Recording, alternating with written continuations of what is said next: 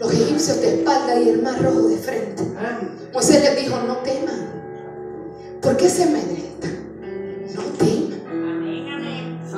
Conoces al que te sacó de Egipto. Aquel que nos dio una palabra de liberación. ¿Por qué temen? Estad firmes y ven. ¿Tú sabes qué no nos deja ver? Nuestra falta de firmeza. Nuestra falta de firmeza porque cuando Dios está a punto de ver hacer algo, no lo vemos porque ya hemos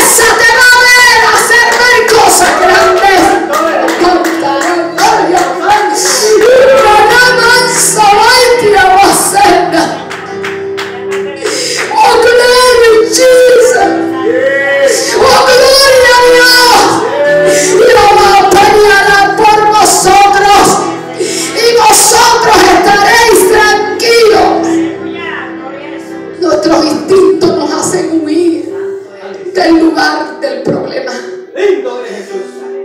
Instinto de hombre carnal que nos dice, vete, olvídate de todo. Déjalo todo, vete, huye, ríndete. Pero este caminar no es solo instinto, este caminar es por fe. Así que en esta tarde atrévete a marchar por encima de mal. Camina encima de lo que te detiene.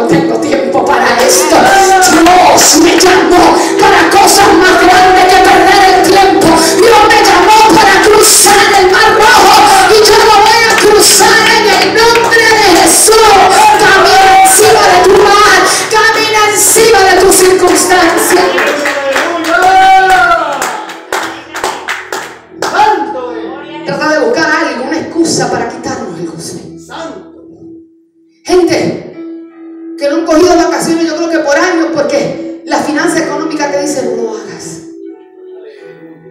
Gente que no hace un ayuno, yo no sé desde cuándo, porque la enfermedad le dice que no lo haga. Gente que no le sirve al Señor o trabaja para Dios, porque te dice el tiempo no te da, no puedes, olvídate de eso. El trabajo no te va a dejar. Mientras sigas mirando tu mar,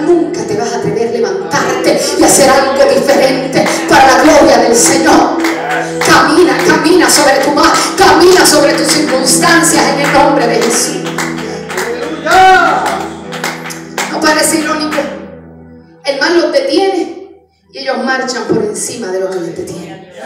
Los muros detienen a Pablo y por esos muros Pablo sale. El mismo mar que los aguanta se convierte en su salida. Y los mismos muros que lo aguantaban, por ahí mismo se abre la salida. Yo no sé qué cosas te han tratado de detener, pero yo te puedo asegurar que por ahí mismo vendrá la salida. Eso que te quiere detener será la solución